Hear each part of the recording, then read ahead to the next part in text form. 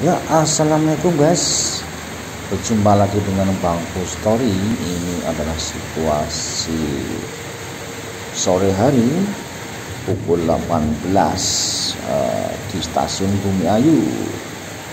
Kereta api Joglo Semarkerto relasi Solo Balapan Jogja Purwokerto, Tegal, Pekalongan, Semarang, kemudian memutar ke Solo balapan lagi ya guys. Ini tadi saya naik Joglo Sumakerto dari Purwokerto turun di Bumayu dengan tarif hanya 50.000 dan sore ini ada yang menarik di stasiun Bumayu guys.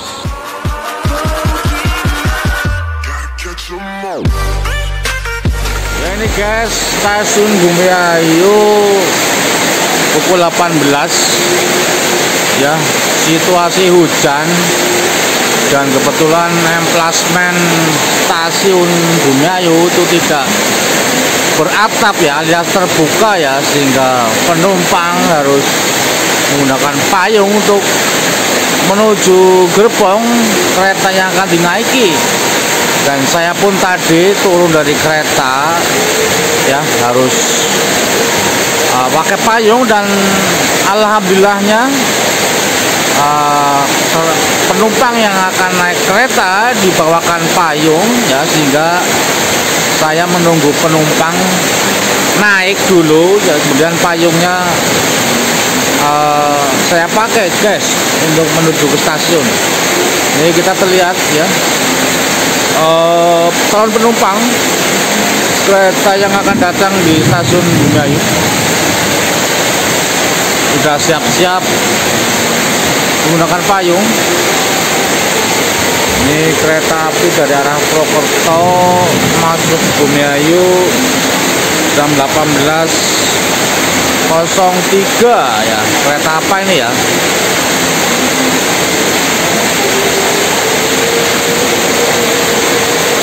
Ini hujannya disertai dengan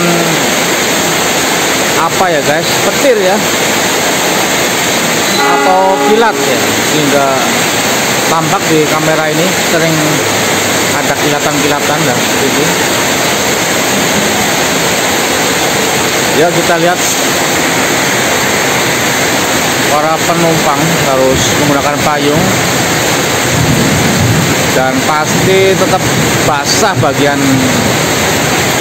uh, tanah bagian bawahnya guys karena hujannya deras Nah ini mudah-mudahan nanti menjadi perhatian ya. Sehingga warga Bumi Ayu bisa menikmati stasiun yang lebih nyaman. Diberi atap untuk emplasmennya di sini ada empat jalur ya guys di stasiun Bumi Ayu ya. Paling tidak untuk bagian depan stasiun bisa ada atap ya sehingga kalaupun harus masuk ke gerbong uh, yang di belakangnya kita bisa masuk ke gerbong yang tepat persis yang ada atapnya.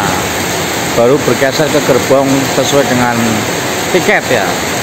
Ya semoga uh, hal ini akan menjadi apa ya uh, kenyataan ya saya sebagai penumpang kereta api ini tentunya sangat berharap ya. Uh, kenyamanan ini sehingga tidak kehujanan ini teman-teman. Ini seorang ibu tadi itu turun dari kereta membawa anak-anak juga kehujanan ya guys. Ini kereta api Ranggal Jati ya guys dari Jember menuju Cirebon guys yang tiba di stasiun Bimayu tadi pukul 18.03 uh, ini mau berangkat lagi. Rangga Jati. Ya guys, sebagai informasi kereta api ini menempuh jarak 729 km dengan lama perjalanan kurang lebih 14 jam. Rute Rangga Jati adalah Cirebon Jember melalui lintas selatan Pulau Jawa.